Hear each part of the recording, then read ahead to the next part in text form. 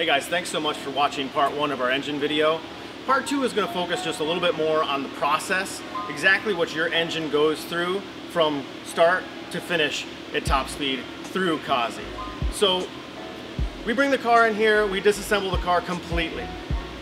When the engine and the heads go to Kaase, they look something like these do right over here.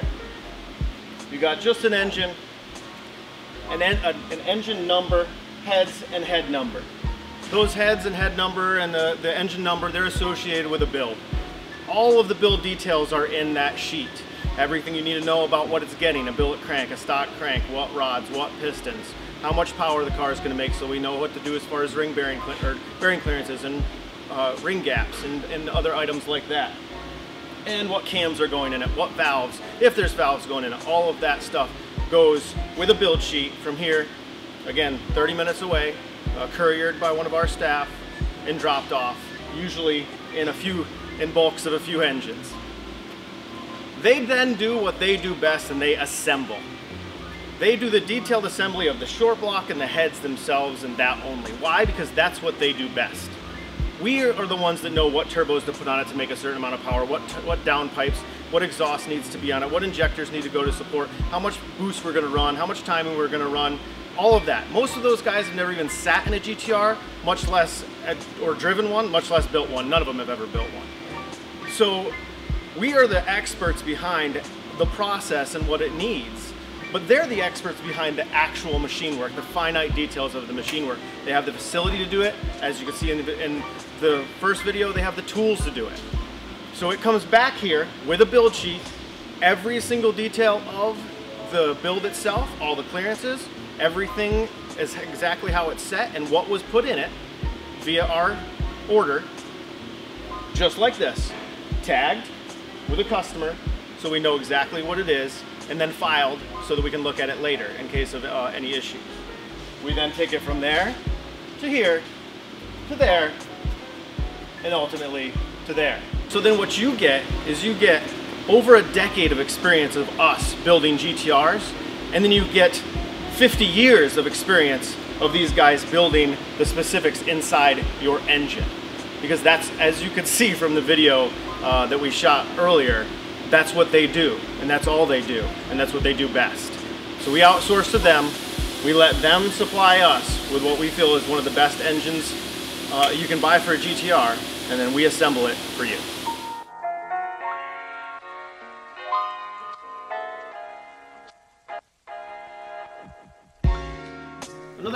Process that I wanted to kind of bring you guys in on is the ability to control and understand start to finish what goes on with a product.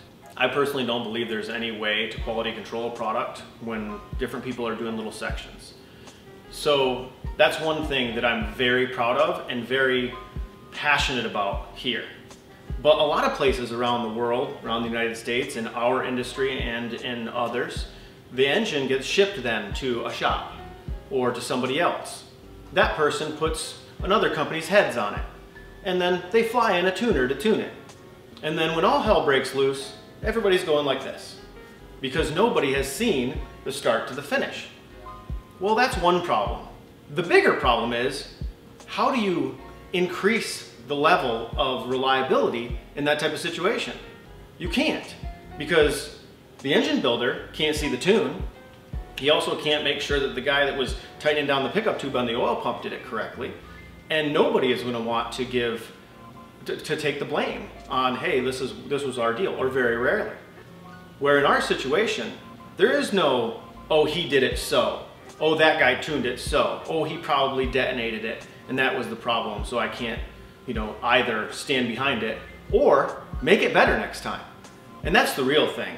Every single one of our engines, whether it's our race engines, our top level race engines like in my car and the Christmas's car and, and other billet block cars like Spackman's, or whether it's down to the to the uh, customer that's just getting a, a, a very mild 3.8 build with a stock crank maybe, all of them I know from start to finish what the bearing clearances were, how hard the tune was pushed, what events it did, how often the guy bought oil change packages from us, I can I see it all. I see the whole picture. So when there's a failure, I'm not looking at this person or that person. I'm not calling this engine builder saying, hey, why did your engine blow up? No, that's not what's happening. we share information 100% seamlessly between obviously my in-house tuner who works for me and this machine shop who also work with me and for me to make sure that all of the quality stays uh, as tip top as it possibly can. And when something fails, because if nothing's failing, you're not doing it right, you're not pushing hard enough, then we make it better. We don't point the finger at the tuner. We don't point the finger at the engine shop. We don't do that. We don't tell the, it dropped a valve and we call the guy that made the heads, oh, you know, that's all done here. And it's all our product. So when I bring in a failed engine, my technicians take it out of the car, we go through it, we take it all apart, we make sure everything we see, we write down or take pictures of. I bring that file, I come here with the engine in a truck, and I stand here and with the owner of the machine shop, Jon Kaase, my dedicated staff members here, and we talk through it, and we try to figure out how to make it better, because nobody's pointing finger at each other. Everybody's working together to make the product better for our end user. And I just feel like there's so much authority in that, and I've seen that over the course of the years. When you don't have an engine builder that has his own prerogatives and objectives to be able to, to hide and to make sure he's protected, and a shop that's got their own, that is that's just a huge deal. It makes it so that our product gets better and better and better and better with every single little nuance, every single failure, anything we go through, we go through it together. Nobody points fingers. We all come together and we make the product better for the customer the next time around. And then it happens again and again and again and again. And as you build that over the course of the years that we have, you end up with so much authority, so much group knowledge there's nothing you can't tackle. And that's something I'm very proud of and something I think is very misjudged and misunderstood in the industry, where you can just get an engine from anybody and you can just do this or do that. Eh, there is not authority in taking it all the way to the end, seeing all aspects of it, and then when something goes wrong, making it better so that the next time it takes that extra 100 horsepower, that extra 200 horsepower to create a completely different failure, and then you go after that one and figure out how to fix it. And it's something I'm very proud of and something we've worked very hard at with this particular machine shop. And it's also one of the reasons you can't call them and get one of my engines, so don't try.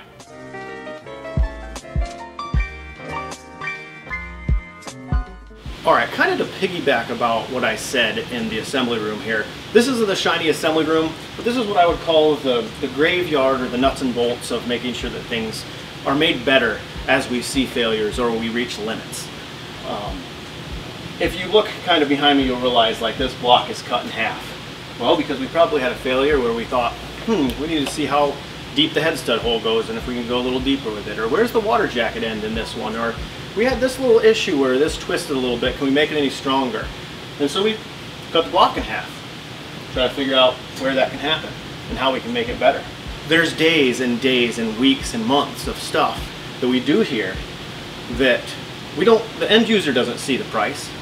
We just do it to make sure that our next engine is better than the last. And every single time we see a weakness or every single time we see an endpoint, we don't just put it back together the same way that it was and just hope it doesn't happen again because we hope the tuner doesn't turn it up too much or we hope that the guy assembling it this time tightens the oil feed line. No, no, no, no. No, because all of that is all encompassed in one umbrella company. We all work together with no secrets and we make it better next time without pointing fingers and without, without trying to make excuses as to why it may have failed and why there's somebody else to blame. We harness it and we make it better for the customer for the next time over and over and over again.